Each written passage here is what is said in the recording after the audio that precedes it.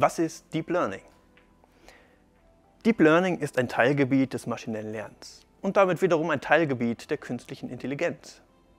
Deep Learning ist das Rückgrat vieler erfolgreicher Anwendungen, vom maschinellen Sehen über Textübersetzung bis hin zur Synthese von Sprache, Text oder Bild.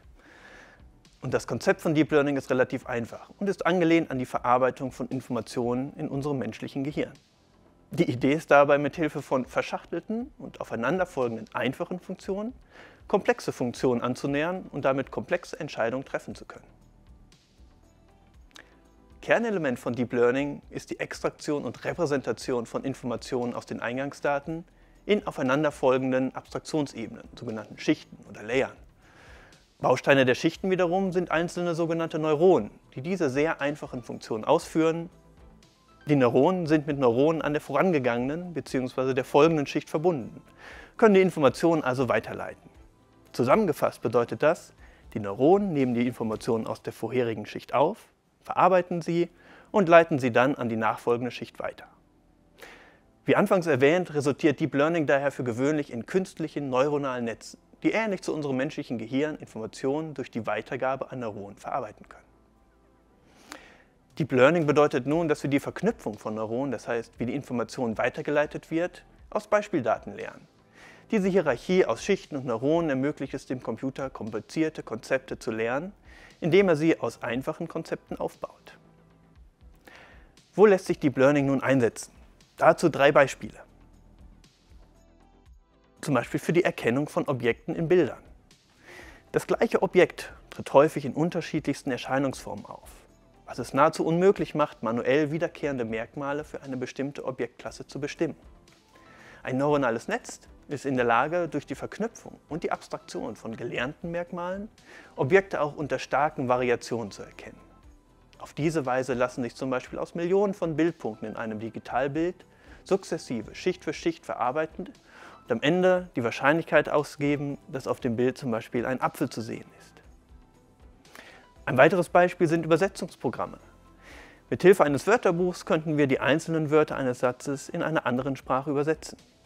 Entscheidend für die Aussagen eines Satzes ist aber die komplexe Kombination von Wörtern. Sätze sind zudem unterschiedlich lang. Um die Bedeutung zu verstehen, müssen Zusammenhänge über mehrere Wörter hinweg betrachtet werden. Abermals ist es praktisch unmöglich, all diese Regeln über die Kombination von Wörtern manuell zu bestimmen. Auch hier wird Deep Learning erfolgreich eingesetzt wobei die Verknüpfung von Millionen von Neuronen genutzt wird, um am Ende sinnvolle Übersetzungen zu erhalten. Im dritten Beispiel geht es um die Erzeugung von Bild und Sprache. Neue Trainingsdaten, zum Beispiel für das autonome Fahren, müssen nicht aufwendig durch Herumfahren aufgenommen werden, sondern können emissionsfrei am Computer generiert werden. Assistenzsysteme, zum Beispiel Navigationssysteme, klingen nicht wie Roboter, sondern können in einer sehr natürlich wirkenden Sprache mit uns kommunizieren. All diese Beispiele zeigen, dass Deep Learning der Schlüssel zum Erfolg für viele KI-Anwendungen auch im alltäglichen Leben sein kann. Deep Learning findet häufig dort Einsatz, wo es schwierig ist, manuelle Regeln oder Vorgehensweisen anzuwenden. Die sehr guten Ergebnisse rühren aus der sukzessiven Abstraktion und der Verknüpfung von Merkmalen aus unterschiedlichen Schichten her.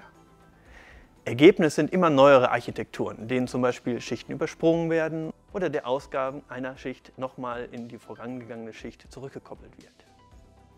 Das Ganze ist auch nicht neu. Erste Experimente mit sehr wenigen Schichten und nur einer Handvoll Neuronen gab es bereits Ende der 50er, Anfang der 60er Jahre des vorherigen Jahrhunderts. Aber erst seit dem Vorhandensein von Rechenleistung und vor allem dem Vorhandensein von Daten ist Deep Learning praktikabel und erfolgreich einzusetzen. Allerdings sind mit dieser Technologie auch Herausforderungen verbunden. Die Informationsverarbeitung ist so komplex, dass eine Interpretation, auf welcher Grundlage zum Beispiel Objekte erkannt werden, nicht mehr möglich ist. Mehrere Dutzend Schichten und Millionen oder Milliarden von Neuronen machen eine manuelle Auswertung, welche Information genutzt wird, unmöglich. Dadurch ist es schwer zu prüfen, ob die gewünschte Funktion jederzeit vorhanden ist. Und wie viele andere Technologien auch, kann auch Deep Learning zweckentfremdet werden. Gerade die Generierung von Daten, wie zum Beispiel Videos und Ton, kann zu gefälschten Inhalten führen, die sich dann übers Internet schnell verbreiten können. Deep Learning ist also eine sehr spannende Technologie, die sehr viele Chancen bietet. Wir bei Fortis forschen daher an der Zukunft der künstlichen Intelligenz. Vielen Dank an Dr. Julian Wörmann, unser Experte für maschinelles Lernen von Fortis. Deep Learning ist eine spannende Technologie, also quasi die Königsdisziplin der KI. Und hier ein paar spannende Fakten und Zahlen zum Thema. Deep Learning als effizientes Konzept des maschinellen Lernens hat ein großes Potenzial, welches wir heute bereits nutzen. Deep Learning hat dazu beigetragen, die Genauigkeit von automatischer Spracherkennung auf über 95 Prozent zu steigern. Die von Facebook entwickelte Software Deepface erkennt menschliche Gesichter auf Fotos und erreicht mittlerweile eine Genauigkeit von 97,35 Prozent. und damit ist Deepface fast so gut wie ein Mensch. Deep Learning benötigt eine sehr große Mindestzahl von Trainingsdaten, um Vorhersagen zu treffen. Und dies bedeutet, zu wenige Daten heißt Deep Learning kann nicht angewandt werden. Und je größer die Datenmenge, desto besser funktioniert das tiefe Lernen. Und wie viele Daten braucht man? Nun, das Modell GPT-3 von OpenAI wurde zum Beispiel auf einer Datenmenge von 45 Terabyte trainiert. Das sind grob kalkuliert 25 Milliarden Kurzaufsätze.